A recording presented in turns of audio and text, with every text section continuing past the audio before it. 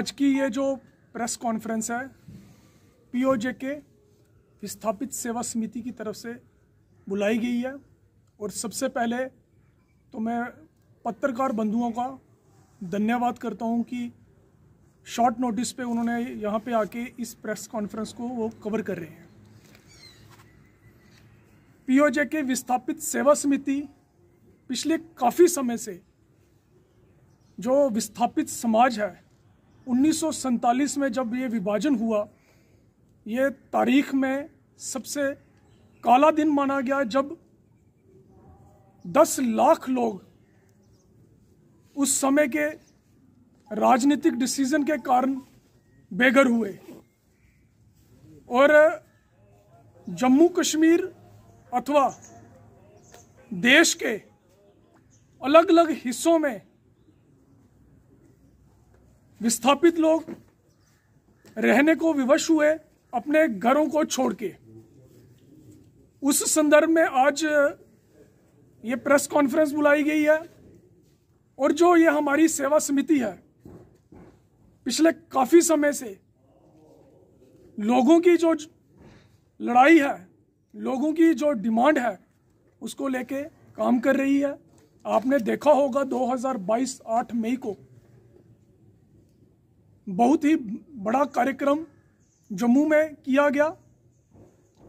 और उस कार्यक्रम का हमारा यह संकल्प था कि जो हमारी वो भूमि है, जहाँ से हमारी संस्कृति, हमारे बुज़ुर्गों की वो मिट्टी, जहाँ पे हम, जहाँ से हम जुड़े हुए हैं, उसको लेने का संकल्प लिया गया। और आज हमारे बीच में पंडित अशोक खजूरिया जी विशेष तौर पे आए हैं। अभी अभी आप सभी के सामने हमने एक कैलेंडर 2023 का जो कैलेंडर है, पीओजे के विस्थापित सेवा समिति ने यहाँ पे लॉन्च किया। और समय समय रहते हुए जो इशू भी विस्थापित समाज के, हम उसे उठाते हैं। और कोशिश करते हैं कि उन मसलों का हल हो। आगे इस कैलेंडर के बारे में विशेष तौर पे आपके सामने बात रखेंगे पंडित अशोक खजूरिया जी।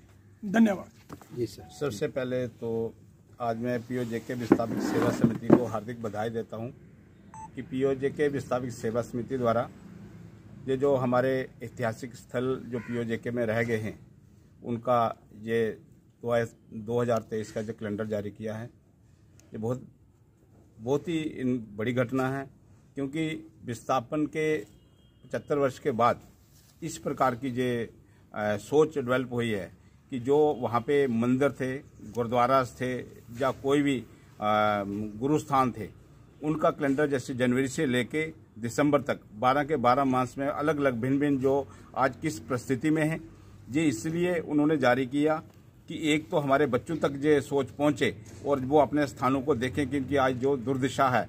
ये सबसे बड़ा एक घटना इस प्रकार की हुई कि हमारा देश जब आज़ाद हुआ, उसके बाद तुरंत ये क्षेत्र, जो कि महाराजा ने 26 अक्टूबर को विलय किया था, उसमें पूरे का पूरा जम्मू कश्मीर, पूरे का पूरा जम्मू कश्मीर हिंदुस्तान के साथ विलय किया था, परंतु नेहरू और शेख अब्दुल्ला की एक छोटी सी गलती के कारण ये क्षेत्र आज भी पाकिस्तान के नजायज कब्जे में है। और हम ये कैलेंडर के माध्यम से, इसको कैलेंडर के माध्यम से अपनी जो जनरेशन है, उसको ये बताना चाहते हैं कि ये हमारा जो स्थान है, वहाँ पे छूट गया है ये भारत का अभिन्न अंग है, इसको वापस लेना है। यही नहीं, केवल हमारा 22 अक्टूबर उन्नीस सौ चौरानवे का रेजोल्यूशन है, जिसने हमने यूनानी मसले ये रेजोल्यूशन लिया हुआ है कि जो जो क्षेत्र वहाँ पे बचा हुआ है, वो हमारा क्षेत्र है, हमें उसको वापस लेना है। और पीओजे के विस्थापित सेवा समिति, जो कि जिस प्रकार अभी दमन जी बता रहे थे कि इस कार्य को लेके बड़ी अग्रणी कार्य कर रही है, जो लोग उस समय पलायन करके आए, जो जम्मू में रहे, इसके अतिरिक्त देश के भिन्न भिन्न भागों में, लगभग लगभग सभी राज्यों में हमारे लोग आज भी विस्थापन की तरह वहीं जी रहे हैं, जैसे राजस्थान में है, यूपी में है, हरियाणा में है, पंजाब में है। तो उन लोगों का यहाँ पे डोमिसाइल बने, उस कार्य को लेके पीओजे के विस्थापित सेवा समिति अग्रणी होकर इस कार्य को कर रही है। हम पुनः एक बार इनको धन्यवाद देते हैं कि इन्होंने ये कैलेंडर जारी करके जो हमारे ऐतिहासिक स्थान वहाँ पे छूट गए हैं, उसकी जानकारी समाज को मिले और हम ये संकल्प भी लें कि उस क्षेत्र को, जो क्षेत्र आज भी पाकिस्तान के नजायज कब्जे में है, उसको वापस लिया जाए। आज के दिन में हमने यही कहना था। धन्यवाद। सर, क्या देखते हैं सैंतालीस पैंठ इकहत्तर को, जब वहाँ से हमारे लोग यहाँ पर विस्थापित हुए, हमारे कुछ राजनीतिक पोलिटिकल रिजर्वेशन थी, वहाँ पर नुकसान हुआ, लेकिन आज तक जो जम्मू कश्मीर में है या अन्य हिस्सों में है, उन्हें पोलिटिकल रिजर्वेशन नहीं दी गई। जो सीटें वहाँ पर फ्रीज हैं, वो यहाँ पर आज तक नहीं खुली तो क्या देखते हैं कि लोकतंत्र से कितना दूर रखा गया विस्थापित समाज? बिल्कुल, ये बात आप सही कह रहे हैं कि हाँ ये जो चौबीस सीटें आज भी जम्मू कश्मीर असेंबली में फ्रीज करके रखी हुई हैं, जो पीओजे के विस्थापित समाज के लिए रखी हुई हैं, उनको मिली नहीं है। इस विषय को लेके हम प्रयास कर रहे हैं। हम पिछले दिनों में माननीय गृह मंत्री जहाँ से आए थे, उनसे हमारा डेपुटेशन मिला है। हमने उनसे बात रखी है कि ये इतने लंबे समय से सीटें रखने का औचित्य क्या है? पहले पूर्व में जो 25 सीटें थी, बाद में एक सीट उनको डिफ्रीज की गई थी और 24 पड़ी हुई हैं। परंतु उन्होंने आश्वासन दिया है कि आने वाली जो भी असेंबली बनेगी, उसमें आपके कुछ न कुछ नुमाइंदे वो डिफ्रीज करके ज़रूर भेजें।